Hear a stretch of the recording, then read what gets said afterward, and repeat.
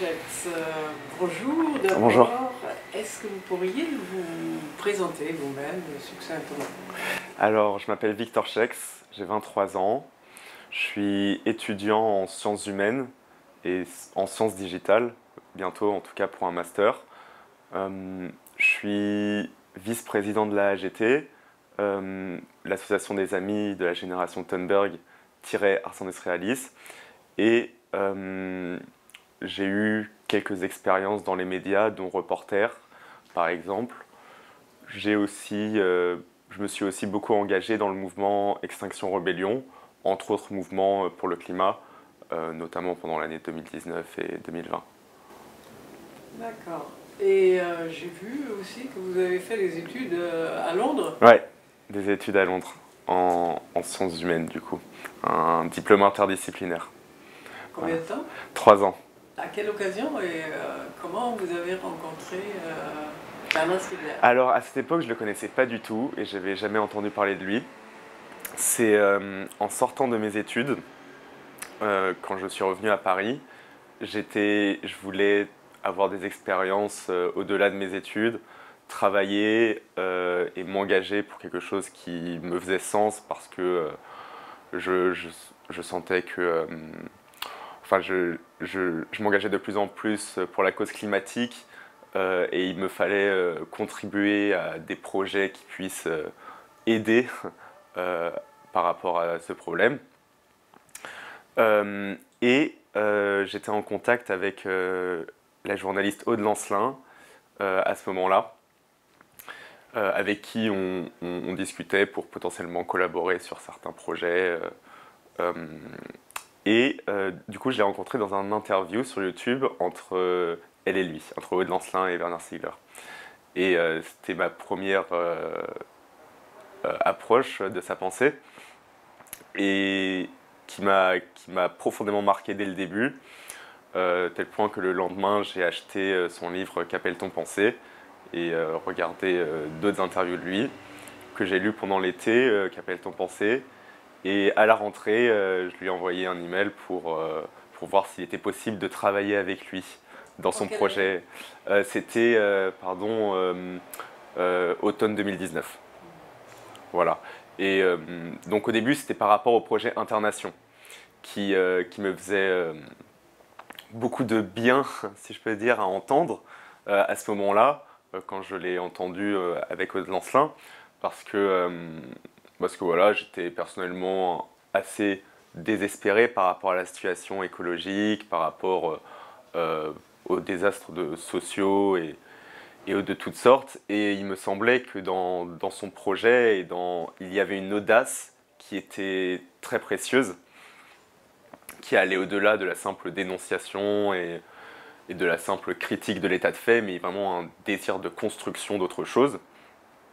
Euh, D'où le fait que je l'ai contacté pour essayer de travailler avec lui. Et donc j'ai d'abord travaillé euh, en tant que bénévole, disons, euh, où je, traduisais des textes euh, et, voilà, et je faisais d'autres petites missions par rapport à Internation.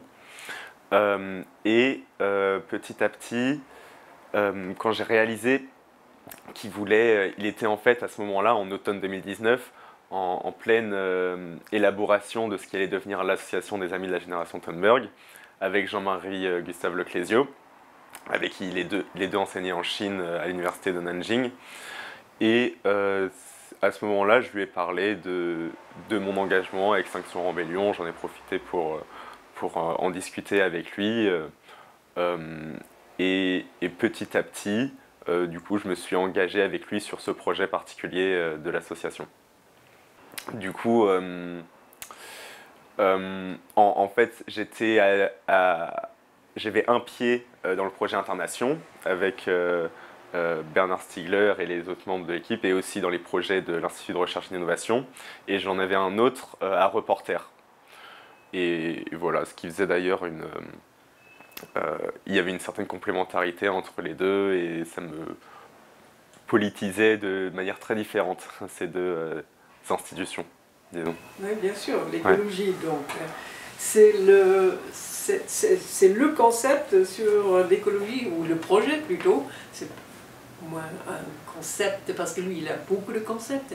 Est-ce que quand vous vous êtes mise à lire ces livres, donc qu'a-t-on pensé, tout au moins Là, je vois d'autres livres sur votre bureau, comme La misère symbolique et discrédit, mécréance et discrédit. Ces premiers livres, est-ce que dans ces concepts, quelque chose vous a accroché ou euh, vraiment euh, fait penser qu'on pouvait les prolonger dans l'actualité? Hmm. Il y en a beaucoup, des concepts qui m'ont marqué et qui m'ont euh, encouragé à les développer et qui illuminaient l'actualité qu'on vivait tous à ce moment-là. Bah, d'abord, c'était le concept d'entropie qui m'a fasciné et en fait, c'était un concept que qui m'intéressait déjà avant avec un ami qui étudiait en physique. Et, euh, on sentait que derrière, il y, avait, euh, il y avait quelque chose de très intéressant et de très, euh, qui, qui, pouvait illuminer au-delà de la simple physique thermodynamique, en fait, comme, comme réalité.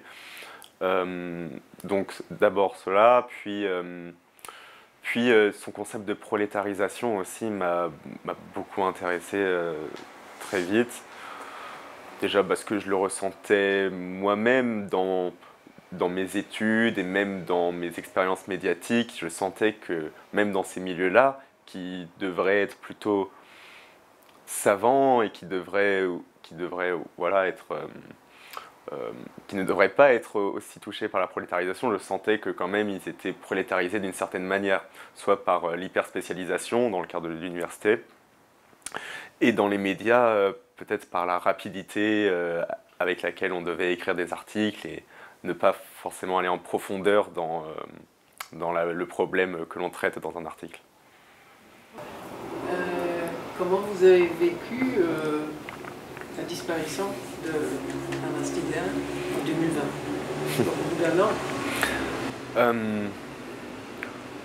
Je l'ai assez mal vécu au début.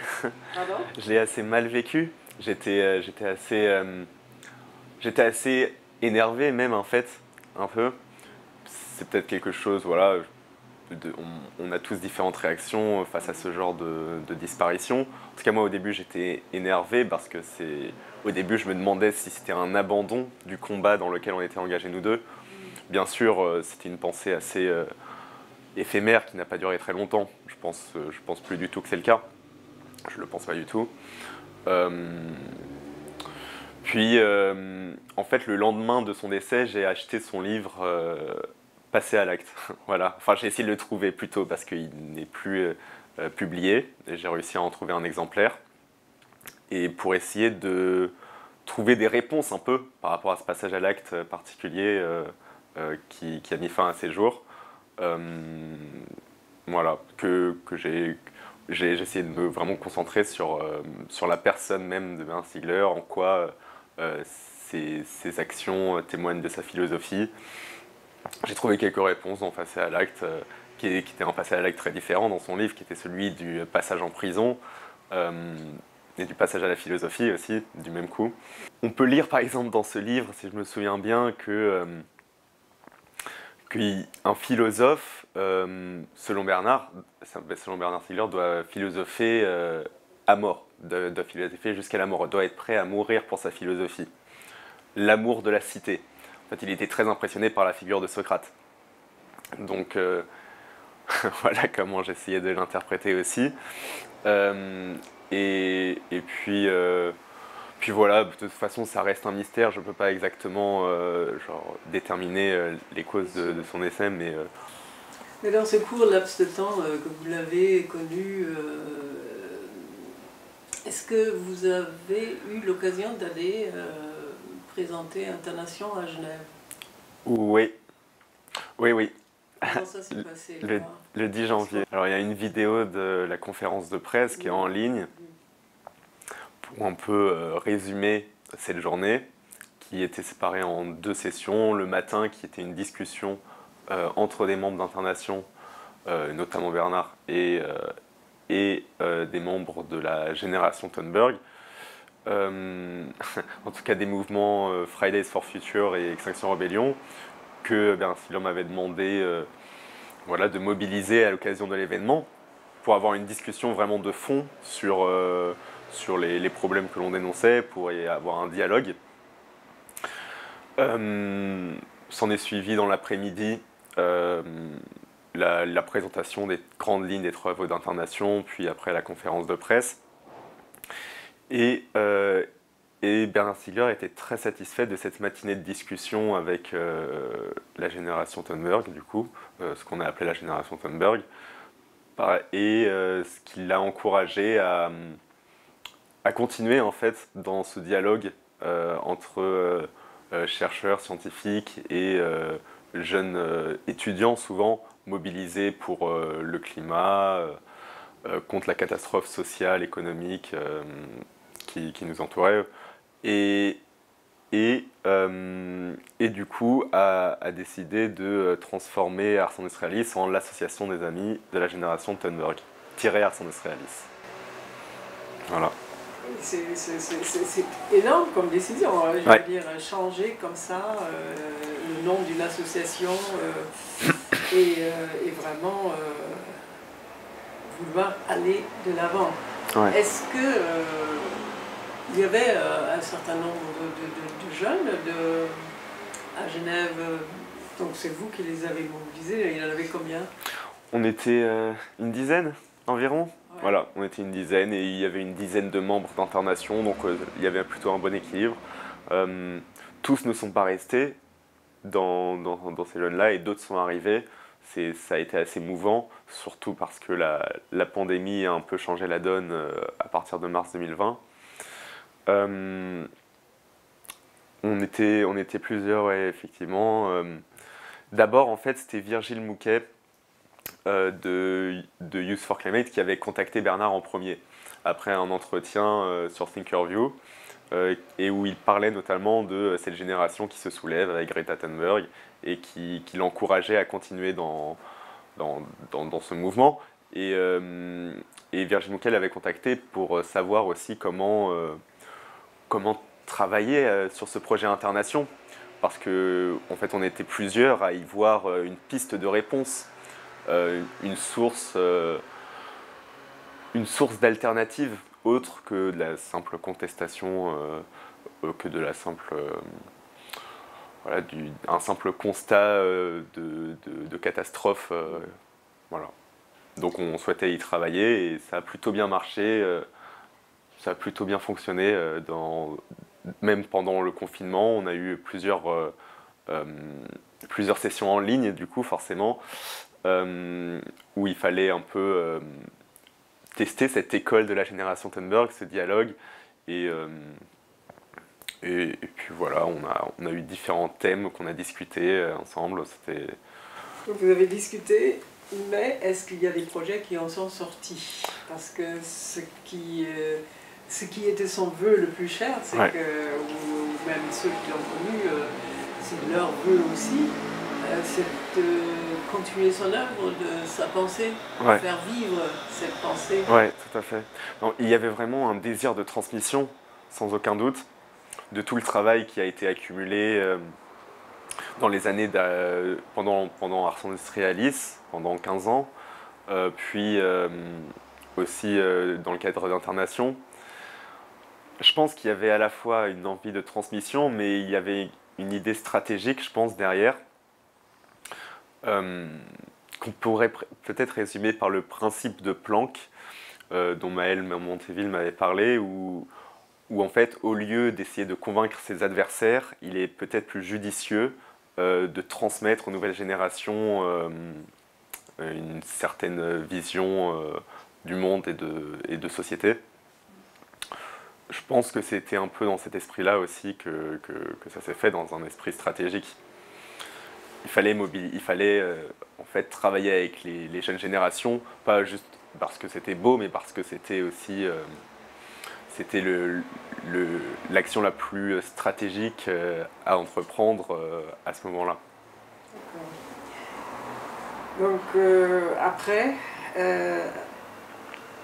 vous, vous l'avez remplacé, ou pas remplacé, mais vous êtes allé à Arles parce qu'il y avait une, bah, une invitation Ouais. de- aux, aux rencontres photographiques de Arles. Ouais. À quelle occasion vous pouvez euh, nous en parler? À Agir pour le vivant, Agir pour le vivant. Ouais. voilà. qui était euh, organisé par Actes Sud et Luma Arles, auquel euh, euh, Bernard Stiegler a été invité, ainsi que le collectif Internation et l'association. Et, euh, et alors, euh, bah, Bernard Stiegler, il projetait de, tenir cette série de séminaires privés euh, qui devaient en fait être les ENMI euh, préparatoires, les entretiens industriels préparatoires en amont de décembre, autour de l'informatique et des générations et du lien entre les deux et de, des potentialités, des dangers. Et donc, euh, à, la nouvelle de son décès, début août, on s'était demandé si on allait tout de même tenir ces événements, euh, ces séminaires privés fin août. Euh, ce qui n'était pas une décision facile à prendre, mais on s'est quand même dit qu'il fallait le faire. en honneur, en honneur de sa mémoire aussi, il fallait continuer à travailler, on ne pouvait pas arrêter de travailler, surtout qu'il ça faisait vraiment partie de son discours, il faut toujours continuer à travailler. Et, euh, puis, euh, et puis aussi, ce fut bien sûr le moment euh, de se revoir tous et de un peu intégrer la nouvelle et, de, et d'envisager un petit peu la suite aussi. Même si ça a pris beaucoup de temps avant d'apercevoir une suite au projet qu'il avait lancé, qui était des chantiers immenses. Oui, parce qu'il faut dire que c'est en pleine pandémie euh, qu'il En pleine a pandémie, ouais. quittés. Ouais. Euh, et donc, euh, tout est un peu suspendu. Il y a un projet actuellement pour, à, court ou long terme De l'association? De l'association. Alors, il n'y a pas un projet en particulier. Il y a plusieurs rencontres qui ont été organisées tout de même l'année dernière euh, avec l'Institut des systèmes complexes et euh, la FRAPNA Ardèche, par exemple. On a eu euh, des groupes de travail qui se sont constitués. Un autour de la controverse scientifique et, ses conséquences sociopolitiques, disons, qu'on avait, qu'on avait animé avec Maël vers novembre pour un peu relancer un élan dans l'association, parce que Bernard Stiegler aussi reprenait souvent euh, le credo de Greta Thunberg, il faut écouter la scientifique, en ajoutant qu'il faut les écouter et travailler avec eux, parce que euh, la science est plein de controverses, et, euh, c'est ce qui l'a fait évoluer d'ailleurs. Donc on essayait de, avec Maël Monteville, Giuseppe Longo, et bien d'autres, Christian Forêt aussi, et, et d'autres membres de la dite génération Thunberg, à euh, envisager, euh, à, à reconsidérer un peu euh, cette controverse scientifique et comment le milieu technologique peut la pousser quelquefois à la polémique stérile. Voilà, je pourrais vous en dire plus, euh, mais, mais je m'arrête là. Et puis, euh, euh, voilà, d'autres groupes de travail se sont constitués euh, autour, autour, par exemple, de l'entropie euh, par euh, Maël Monteville et, euh, et Marie Cholanami.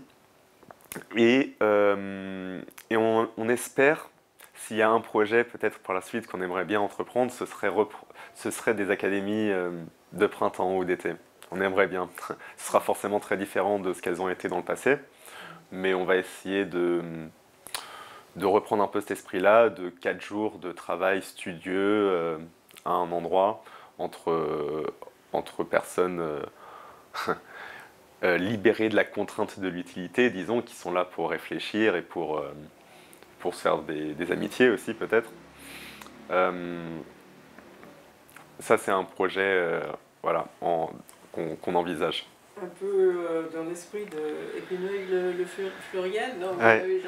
Non, ça, non, mais je suis nostalgique de ces événements auxquels je n'ai jamais participé parce que je les ai visionnés et ça avait l'air, euh, ça avait l'air franchement. euh, Très convivial et Ouais. très studieux en même temps.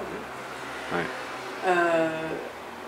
J'ai vu que vous avez dernièrement participé à, tout au moins, oui, participé, on peut dire, en tant que journaliste, euh, reporter euh, que vous êtes, euh, à la déso- désobéissance civile, à une couverture Alors, est-ce que vous pouvez en parler et en quoi est-ce que c'est relié aux idées de Bernard Stiegler ou non? Hmm. Alors, j'ai commencé dans le mouvement Extinction Rebellion en Angleterre euh, à ses tout débuts. En fait, même avant ses débuts, d'une certaine manière, parce que j'étais, euh, je connaissais euh, le cofondateur de ce mouvement, un peu la, tête pensante de la stratégie de ce mouvement, il s'appelle Roger Allam, euh, qui faisait une thèse dans la même université que moi, et où en fait je l'ai rencontré parce que j'essayais de média- médiatiser ses actions au sein de l'université, qu'il considérait, à- à- enfin c'est comme s'il considérait l'université comme un laboratoire pour ce qu'allait devenir euh, le mouvement euh, plus global, qui a très bien marché, euh, qui lui est, qu'il a carrément dépassé par rapport à ce qu'il envisageait. Et, j'ai commencé, j'ai commencé dans ce mouvement, oui, avec lui, parce que, parce que effectivement, on, en parlait et ça faisait sens de, de- d'entreprendre la désobéissance civile pour, euh, par rapport à la situation euh, climatique et l'inaction euh, totale de la part des dirigeants et des, et des sphères au pouvoir, disons économiques et même technologiques. Et, et alors, disons que pour moi, la désobéissance civile, c'était une sorte de rituel d'initiation à la base, où je, voilà, où j'étais en train de bloquer un pont avec plusieurs autres euh, personnes que je ne connaissais pas, un pont sautral along le Waterloo Bridge à 3h du matin, prêt à me faire arrêter comme tous les autres. Et euh, il y avait- y avait quelque chose de- d'initiatique derrière où euh, voilà, on était prêt par rapport à quelque chose qui nous dépassait à pas forcément se sacrifier, mais à, à être en tout cas assez audacieux et à casser un peu euh, euh, certaines euh, barrières qu'on peut, se, construire en temps normal. voilà. Et alors le lien avec la pensée de Bernard Stiegler, je ne pense pas qu'il y en a vraiment, enfin en tout cas peut-être sur ce dernier point de, la situation est telle qu'il faut être assez audacieux et, et aller plus loin que les formes traditionnelles de mobilisation, disons. Je pense que Stiegler ne voyait pas en la désobéissance civile euh, le, moyen vraiment d'aller au-delà euh, de, l'urgence écologique et climatique.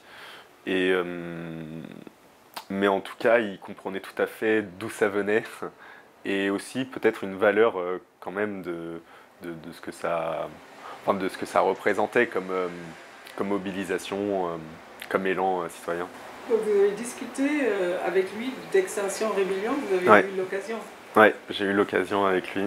Par contre, est-ce que vous êtes allé une fois ou deux, euh, ou même plus, euh, à cette, son laboratoire territoire à Ouais. pleine, pleine, Pleine commune, ouais. à Saint- à Saint-Denis? Oui, j'ai eu l'occasion d'y aller. Parce qu'il y a eu un moment où, euh, où Bernard Stiegler envisageait euh, de, de territorialiser la génération Thunberg, là-bas, de- d'en faire aussi un territoire laboratoire pour l'association, euh, pour que euh, nous autres étudiants en quête de, euh, de pistes d'avenir, on pourrait y aller pour y explorer des pistes de d'alternatives et contribuer à ces projets et, et les transmettre et les diffuser.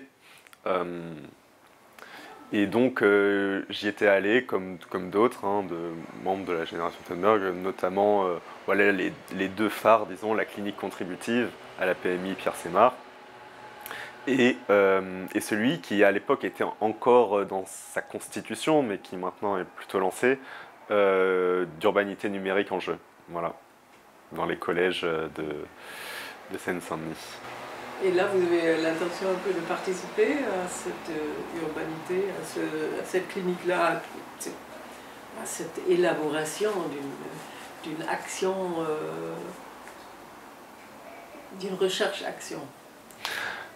Euh, ces projets, oui, je, continuerai en tout cas à garder peut-être, enfin, je, je continuerai à suivre leurs évolutions. Et voilà, après, moi, je vais me lancer aussi dans mes propres projets, disons. Là, euh, à la rentrée, je vais aller étudier euh, à l'université de Bologne, en Italie, un master en, humanité digitale, voilà, enfin humanité numérique. Parle italien? Non, mais ce sera un master en anglais, voilà. Et pour un peu comment dire, mettre les mains dans le, dans le cambouis par rapport à l'informatique et la programmation, dans le sens où, euh, du coup, à son décès, euh, j'ai été propulsé sur ce thème de l'informatique théorique, auquel je connaissais pas grand-chose, euh, mais du coup, ce qui m'a forcé à apprendre et à, me renseigner. Et petit à petit, en fait, j'ai été marqué par à quel point, effectivement, dans les dernières pistes qui nous avaient laissées, en fait, ces textes refondation de l'informatique théorique, il y avait une intuition très pertinente, je trouve, sur, euh, sur à quel point en fait ça conditionne euh, les possibilités même de transformer la société, de, même de la maintenir en fait, la société tout simplement. et du coup, je, je, je, il m'a pas mal, Bernard m'a beaucoup, m'a en fait orienté, même après sa mort, vers ces, vers ces questions. Euh, c'est pourquoi je, je, vais à Bologne et dans l'espoir aussi voilà, de, de, contribuer à transformer les conditions, euh, les conditions du débat public en ligne, disons.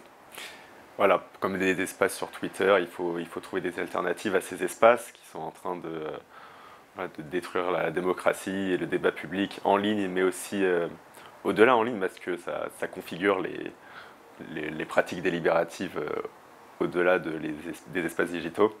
Euh, voilà, c'est plus ou moins le projet pour l'instant.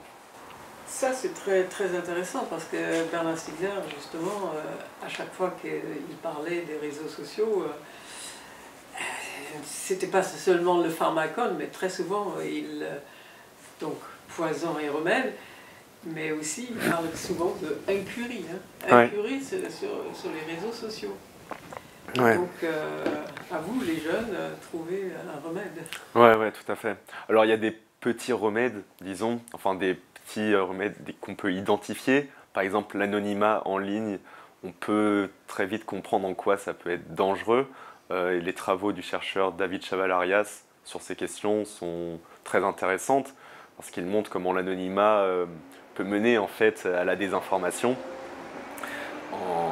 par exemple par des sphères militantes euh, aux États-Unis, des sphères trumpistes, qui ensuite euh, utilisent l'anonymat sur Twitter et Facebook pour désinformer euh, lors de campagnes électorales en Europe, ou dans d'autres endroits d'ailleurs. voilà, mais après, au-delà de ça, en fait, c'est.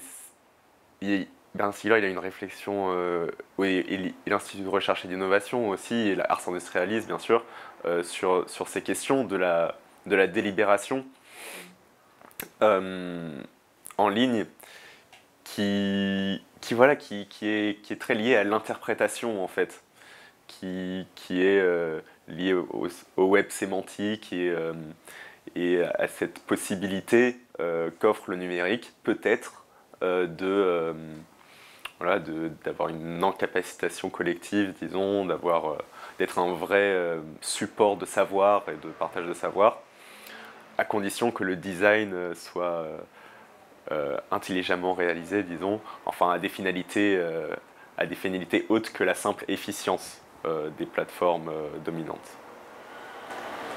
Bon, une dernière question qui est très difficile et très générale en même temps. Est-ce que, en fait, pour vous, un philosophe, c'est quoi? Pour moi, c'est un, philosophe, c'est euh, un philosophe en acte. Voilà. Peut-être qu'on a, des, on a dû répondre ça souvent dans vos interviews, euh, dernières interviews, mais euh, vraiment ce qui m'a directement intéressé dans Bernard Stiegler, c'est cette, c'est cette philosophie en action qui m'a rassuré parce que je me suis dit d'un coup qu'en fait, il y avait encore des philosophes quand même. C'était pas simplement euh, des philosophes analytiques, euh, peut-être un peu poussiéreux dans des bibliothèques. Euh. non, il y avait encore des, de, telles, de telles personnes. et donc, donc oui, une, où en fait les idées doivent servir à la transformation du réel.